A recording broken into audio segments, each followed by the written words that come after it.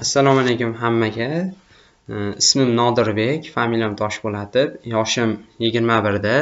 O'zim e, Toshkent axborot texnologiyalari universitetining Farg'ona filiali 3-kurs talabasiman. Men bu front-end, ya'ni veb dasturlashning front-end yo'nalishiga e, o'zim qiziqaman judayam. Bu veb dasturlash sohasiga qiziqqanim sababli mana shu yo'nalishni tanlaganman. Bu juda yam qiziqarli yo'nalish qiziqarli soha. Sizlarga ham maslahat beraman.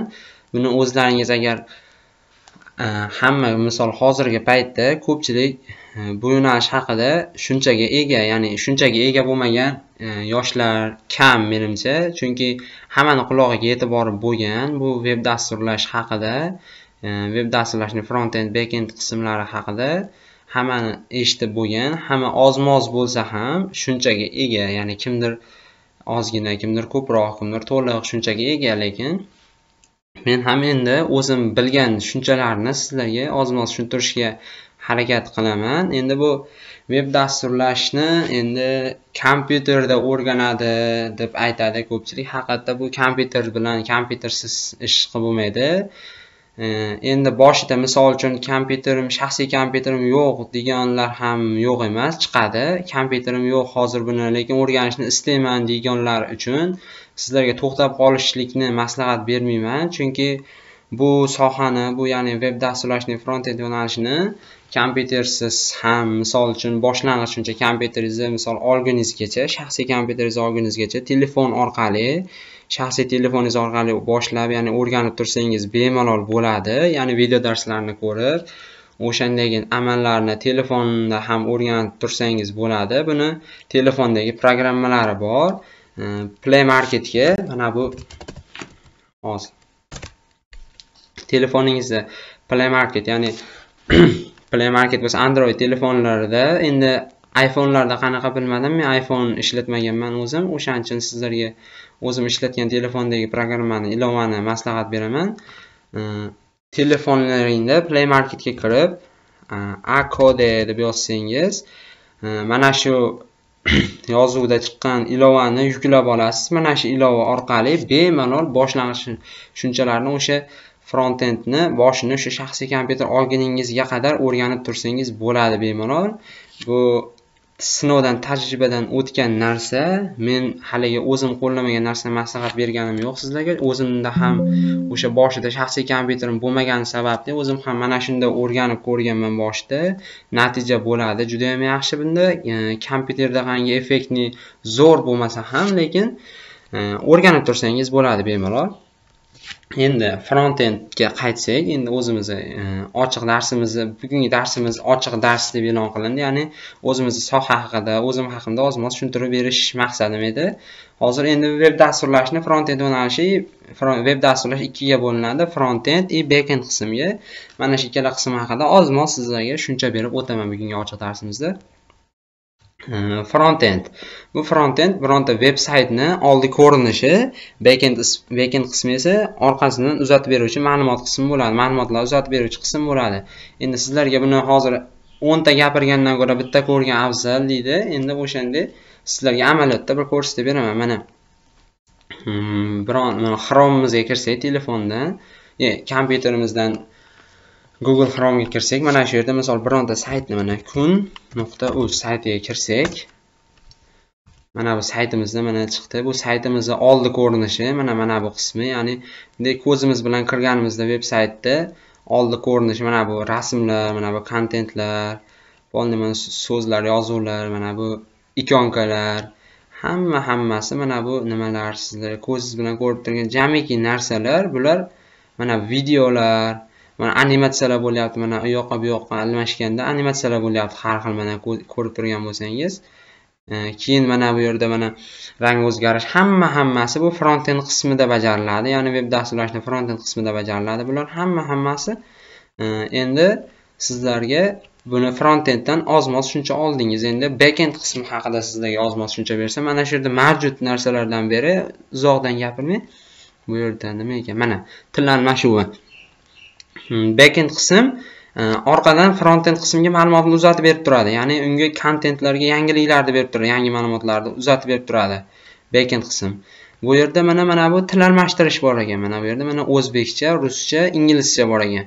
Mana bu yerda mana hozir mana manalarimiz tillar e, mana bu kontentlarimiz mana o'zbekchada turibdi. Kiril alifbosida bo'lsa ham bu o'zbekcha yozilgan so'zlar. E, ruskiyga olib o'tsak buni mana ruskiyga almashtirib полный saytimiz mana veb saytimiz ruskiyga almashdi mana buni endi backend qism bajaradi. O'zbekiston mir общество sport fondi ruschaga almashdi endi inglizchaga almashtirib ko'ramiz.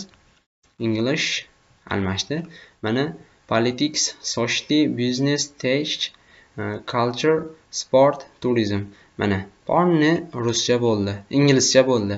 Kontentlarimiz hammasi video mana hamma hammasi inglizcha bo'ldi. Endi o'zbekchaga qaytarib qo'yamiz. Mana shu endi ozgina bo'lsa ham men sizlarga o'zimdagi tushunchani berdim. Menimcha shundek deb o'ylayman. Mana shu endi veb dasturlashni qismlaridagi ikkita qismidagi tushunchalarni berdim o'zim sizlarga. Hmm. Xo'sh endi biz kursimiz davomida nimalarni o'rganamiz desak buni hozir sizlarga qisqacha qilib tushuntirib o'taman. Hmm.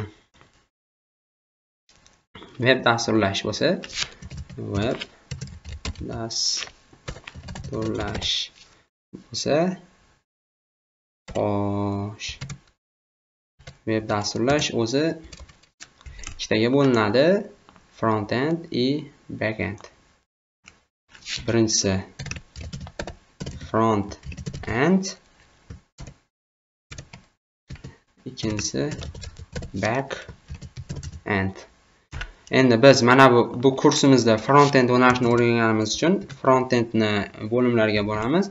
Front end kursida biz nimalarni o'rganamiz? Ya'ni o'zim endi mana bu front end yo'nalishida o'rganganlarimni o'rgatamanda sizlarga. Endi o'sha o'zim o'rgangan yo'nalishlarim o'sha o'zim o'rgangan narsalarni yozamanda endi bu yerga front end bo'yicha.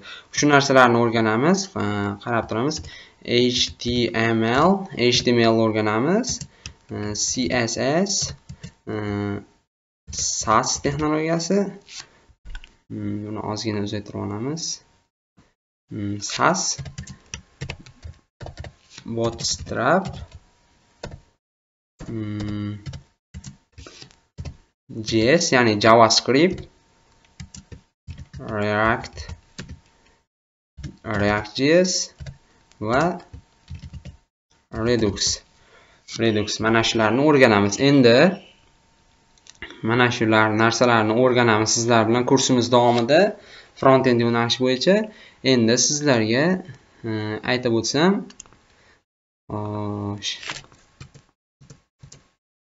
bu kursimizda qarang bu html mana bu kun saytida ko'rsatdik. Mana bu nimalarni mana shu ko'rinishni e, stillari yo'q mana rang berishi mana bu mana bu ko'rin mana bu joylashuvi ya'ni joylashuvlari bo'lmagan holati ya'ni mana shu joylashuvlardan terib chiqqanda front end qismda mana bu ikonkalarni qayerda joylashishini mana bu rangini mana bu videolarimizni mana bu kontentlarimiz bilan birga qanaqangi e, mos tushishlari qanaqangi holatda tushishi mana bular qanday tushishi bu holatlarni birinchi holatda biz stillamasimizdan oldingi holati o'sha e, polni suyak qismi html bo'ladi. Html qismida bajariladi. Mana bu css qismida esa biz uni stillarini beramiz. Mana bu mm, mana bu kontentlar joylashuvi mana. Bir tekisda joylashgan mana yonma yon bo'lib tushgan. Mana shular cssda mana ranglar mana kontentlarimizni yonma yon joylashuvi. Xo'sh mana bu mm, o'sha linklarimiz mana bu linklarda mana o'zgar mana shu linklarimiz nimalari ponni mana shular cssda qilinadi bular stillarimiz. Sas texnologiyasi bu. Sasni endi buni xohlagan odamlar o'rganadi xohlamaganlar o'rganmaydi. Misol uchun men buni o'rganganman bu texnologiyani sizlarga e, o'rgataman. Xohlasangiz ishlatasiz xohlamasangiz qo'llamaysiz. Lekin bu narsa foydali tarafi foydali tarafi buni kichik nimalar veb saytlarda qo'llashni maslahat beraman. Chunki katta veb saytlarda kodlaringiz juda ko'p bo'lib ketadi veb saytlar katta veb saytlarda e, ko'p bo'lib ketadi kodlaringiz. И keyin sas texnologiyasi sekin ishlashni boshlaydi agar veb saytingiz katta bo'lib ketgan sari. E, keyin bu sas texnologiyasida e, veb sayt nima qiladi desak mana cssd kodlarni